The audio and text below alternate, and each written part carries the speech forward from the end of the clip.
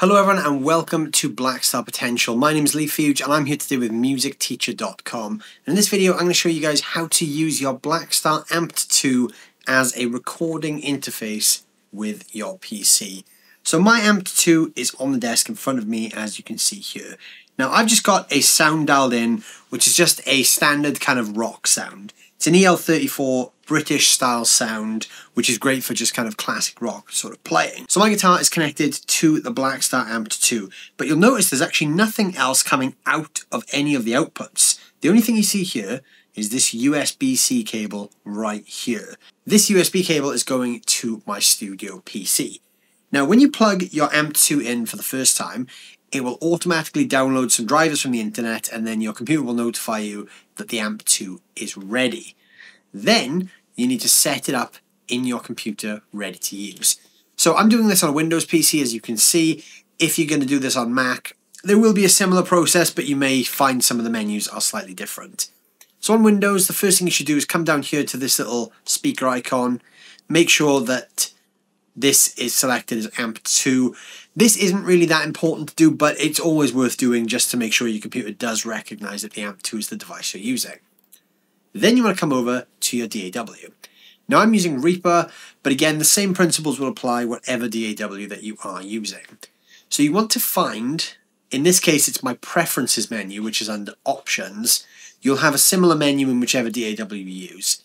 But inside here, you'll have all the settings for your DAW. So if you're using Reaper, the first thing you'll see is this preferences menu, which will start on general. You want to come down to audio and then device. Now, like I said, whatever DAW you are using, there will be a different look to this, but the idea is going to be the same throughout. So if you're going to be using the AMP2 with a PC, it doesn't run on standard ASIO drivers. It kind of has its own driver set. So you're going to need to download this free driver called ASIO for All. It's a free driver. You just type it into Google and you will find it. I'll also put a link for that down below in the description. Once you've downloaded that, you select that as your driver type. So ASIO driver should be ASIO for All, V2 being the latest version. So you select that. Then you need to configure it to recognize where you're sending your signal. So my setup is going to be slightly more complicated because I've already got an audio interface plumbed into my studio, which is connected to my studio monitors, which you can't see because they're off camera. So I'm using those for monitoring back.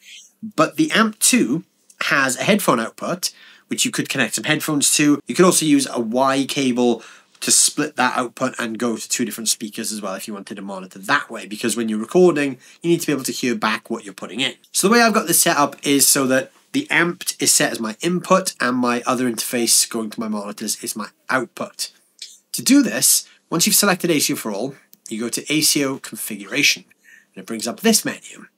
So this is just a list of all the devices that are connected to my computer. You can see I've got a Focusrite device selected and the AMP2. Now if you're going to just use the AMP2 and you're going to utilize the headphone output to connect headphones or speakers, this is the only thing you need to worry about. Make sure this is selected and all of its subcomponents, the ins and the outs.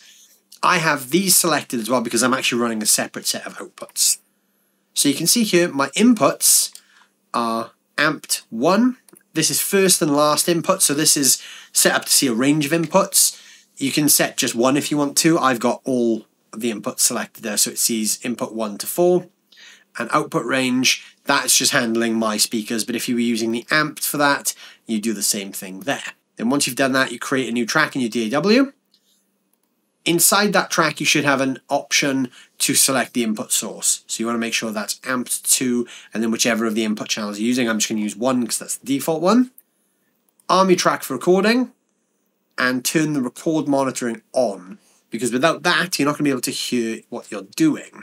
And then once you've done that, you are ready to go. Now, if you have a PC that is perhaps a little bit older or lower spec, you may find you get some latency issues, which means when you play, you hear back what you're playing a little bit later than what you're actually playing. It's not as direct as playing with amp.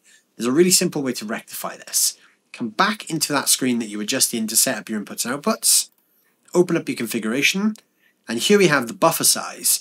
Now mine is set to 320, what you want to do is you want to bring this as low as you can to reduce the latency. You can see when I hover over it, it actually says lower latency or reduce glitches. So the lower the latency is, the faster the response between your playing and what the computer gives you back. But if you've got an older system, this can also cause glitches. So you want to try and find the sweet spot where you get minimal latency but no glitches. If you've got a more powerful system, you will be able to bring this much lower. I have quite a powerful PC, so I could get this a lot lower if I want, but I've always just set things at 320 because I find that works great. But if you've got an older PC, you may need to set this slightly higher and there may be a tiny bit of latency.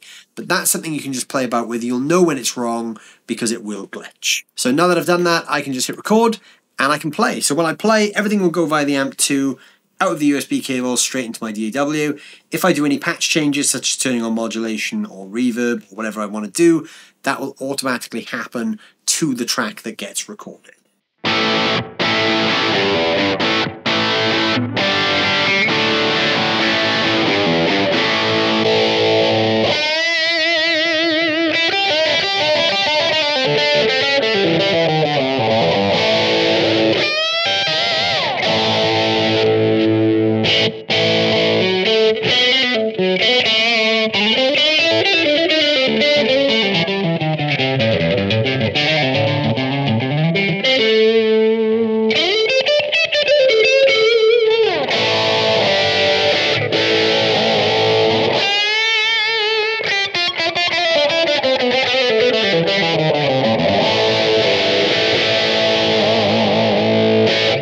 So there you go, that is as simple as it is to get the AMP2 set up as a home recording device. Now, if you don't want to use this as a USB interface in its own right like I've done in this video, and you already have a USB interface, you can simply take an XLR cable or jack cable out of one of the outputs on the back, feed that straight into your existing audio interface, and there you go, it will work in exactly the same way.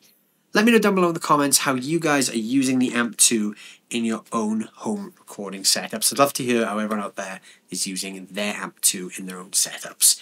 Don't forget to check out Blackstar Amplification on YouTube for more free video lessons just like this. If there's anything you guys want to see us doing with the AMP series, please let us know down below in the comments. And don't forget to check out musicteacher.com. It's a great network of teachers out there waiting to help you guys take your playing to that next level. Thank you so much for watching as always, and I'll see you soon.